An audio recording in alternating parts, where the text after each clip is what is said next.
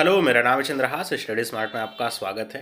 दोस्तों, आपके जो पीओ और क्लर्क के मेंस एग्जामिनेशन है वो शेड्यूल्ड हैं, पीओ का एग्ज़ाम 22 तारीख को है क्लर्क का 25 तारीख को है।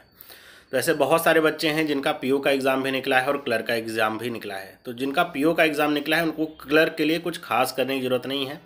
वो पीओ वाले एग्ज़ाम की तैयारी करते रहें। अगर पीओ वाले एग्ज़ाम की तैयारी करेंगे तो क्लर्क वाला आपका आसानी से निकल जाएगा। तो उसके लिए कुछ खास नहीं करना होगा। ऐसे बच्चे जिनका केवल क्लर्क का एग्ज़ाम निकला है और वो अगर मेंस की तैयारी में लगे हुए हैं तो इस बात का खास तौर पर ध्यान रखें कि सारा का सारा दिन वो करंट अफेयर पढ़ने में ना लगाएँ।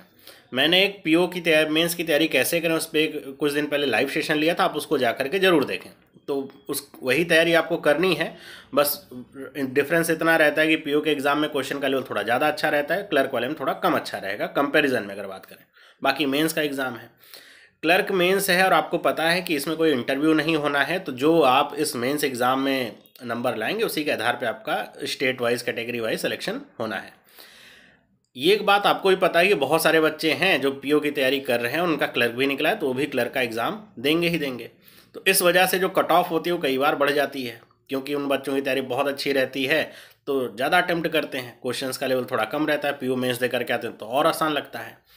तो ऐसे बच्चे जो केओ क्लर्क की तैयारी कर रहे हैं वो इस बात पे ध्यान रखें कि उनको अटेम्प्ट अपने अच्छे रखने हैं। और इसलिए आपको जो अपनी स्पीड है कैलकुलेशन वाली जो स्पीड है उस पर ध्यान देना होगा। आप कम अटैम्प्ट बहुत कम अटैम्प्ट करेंगे तो आप पीछे रह जाएँगे। तो कैलकुलेशन आपसे करवाई जाती है मेंस के एग्ज़ाम में क्लर्क वाले में तो वहाँ पे आप अच्छे से अगर आप, आपकी स्पीड नहीं है छोटी छोटी चीज़ें आपको पता नहीं है स्क्वायर नहीं पता टेबल्स नहीं पता और सोच रहे हैं सब एग्ज़ाम में ही करेंगे फिर आप दिक्कत में फंसेंगे। तो ऐसे बच्चे जो क्लर्क की तैयारी करें, ध्यान रखिए कि आपको पूरा दिन करंट अफेयर पढ़ने में नहीं बिताना है, क्योंकि करंट अफेयर मुझे पता है कि बहुत सारे बच्चे सिर्फ़ इस तैयारी में रहते हैं कि प्रीलिम्स का एग्ज़ाम निकलेगा तब मेंस की तैयारी करते हैं। और अब आपको ये बात समझ में आ रही होगी कि अगर आप प्रीलिम्स के बाद मेंस की तैयारी करते हैं, समय बचता ही नहीं, कब करेंगे? और लेवल आपका ऐसा कम नहीं होने वाला, ना तो एग्ज़ामिनर के सामने आप ये अपील कर सकते हैं कि नहीं नहीं, हम तैयारी नहीं किए हमको और समय चाहिए, ऐसा तो होता नहीं। तो इसलिए अगर आपके पास जो समय बचा हुआ है, आज आठ, नौ दिन का समय जो बचा हुआ है, आप करंट अफेयर पढ़िए पिछले चार महीने के। जो इम्पोर्टेंट इंपॉर्टेंट करंट अफेयर्स हैं, उनको आप पढ़ लीजिए कि वहाँ से क्वेश्चन आया तो आप कर सकें। बाकी रीजनिंग और क्वांट के जो क्वेश्चन हैं, उनको भी लगाइए। पूरा दिन करंट अफेयर पढ़ेंगे तो वो जो एक लय बनी रहती है रीजनिंग और क्वांट में, वो ख़त्म हो जाती है। फिर एग्ज़ाम में आपको उसका बहुत नुकसान उठाना पड़ता है। तो उसको भी आप लगाते चलिए साथ साथ में। सात बजे की जो क्लास होती है हमारी, मैं ये तो नहीं कहूँगा कि आप लोग उसे लाइव ज्वाइन करें, लेकिन उसके क्वेश्चंस क्लास ख़त्म होने के बाद ज़रूर लगाइए। सिलॉक्स के क्वेश्चन पजल्स के क्वेश्चन इनपुट आउटपुट के क्वेश्चन डीआई के क्वेश्चन अर्थमेटिक वो आपको मिलेंगे। नंबर सेट के क्वेश्चन तो आप उसको ऑफलाइन में लगाइए, ताकि आपका जो, कह सकते हैं जो एक रेंज है वो आपकी अच्छी डेवलप हो पाए और आप अच्छे अच्छे क्वेश्चन से परिचित हो पाए। प्रयास ये करिए कि अपने दिन को बहुत बैलेंस रखिए और अपने जो सब्जेक्ट के पढ़ना है, उसको भी बैलेंस रखिए। एक तरफ़ फोकस्ड ज़्यादा रहेंगे, दूसरा छूटेगा तो नुकसान दोनों तरफ़ से आपको होने वाला है।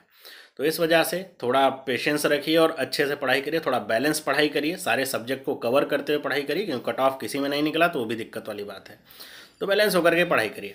मॉक वगैरह आप दे सकते हैं। आप चाहें तो डेली एक मॉक दे दें या तो अल्टरनेट डेज़ पे एक मॉक दें, लेकिन मॉक केवल देते रहें दिन भर, उससे कोई फ़ायदा नहीं होगा। आप पढ़ने पर भी ध्यान दें और रिवाइज़ आप ज़्यादा से ज़्यादा करें, जो कॉन्सेप्ट हैं, जो तरीके हैं, ताकि एग्ज़ाम में जा के आपको हड़बड़ी ज़्यादा ना मचे। जो बच्चे पीओ एग्ज़ाम की तैयारी कर रहे हैं, उनके पास बहुत कम दिन समय बचा हुआ है, चार से पाँच दिन का समय बचा हुआ है। ऐसे में कई बार एनजाइटी आपकी ज़्यादा हो जाती है। और घबराहट होने लगती है एग्ज़ाम में आप मॉक दे रहे होते हैं क्वेश्चंस नहीं सॉल्व होते हैं, या फिर सॉल्व होते हैं, लेकिन बहुत टाइम लगता है तो ये विचार आता है कि अब एग्ज़ाम में कैसे करेंगे। ये एक नॉर्मल सा प्रोसेस है जो सबके साथ ही लगभग होता है। तो इससे आप उबर कैसे सकते हैं? इससे बचने के लिए आप एक काम ये करिए कि आप थोड़ा सा फ्री माइंड होकर के जो है एग्ज़ामिनेशन को फेस करिए। अगर आप पहले जो आपने गलतियाँ करी आपको जो पहले, पिछले दिनों में असफलताएँ मिली हैं जो उम्मीदें हैं, उनको साथ में लेकर के एग्ज़ाम देने बैठेंगे तो वो बहुत ज़्यादा प्रेशर आपके दिमाग पे क्रिएट करता है। और इस बात से बचिए कि आपका एक सेक्शन अगर मान लीजिए गलत हो रहा है तो वो जो थॉट प्रोसेस है या फिर वो जो दिमाग में नेगेटिविटी उस सेक्शन को लेकर के बनी है, वो आगे कैरी फॉरवर्ड ना हो। कि मान लीजिए आपने रीजनिंग करने बैठे रीजनिंग का एक जो पेपर हुआ, वो आपका बहुत अच्छा नहीं हुआ। अब आगे आप क्वांट में गए तो पता चले कि वही चीज़ बार बार दिमाग में घूमे जा रही कि रीजनिंग का अच्छा नहीं हुआ, आप कर नहीं पाए तो क्वांट वाला भी ख़राब हो जाता है। तो ये आप जो लूपिंग होती है, उससे बचिए। बाकी मेरी तरफ़ से सभी लोगों को अग्रिम कह सकते हैं, शुभकामनाएँ हैं मेरी तरफ़ से कि आपका एग्ज़ाम अच्छा हो, और उम्मीद करता हूँ कि ज़्यादा से ज़्यादा लोग जो इस वीडियो को देख रहे हों, उनका सिलेक्शन हो। क्लर्क में तो मेंस एग्ज़ाम ही फाइनल है। अगर इसमें आप अच्छा परफॉर्म करेंगे तो आपका फाइनल सिलेक्शन होगा।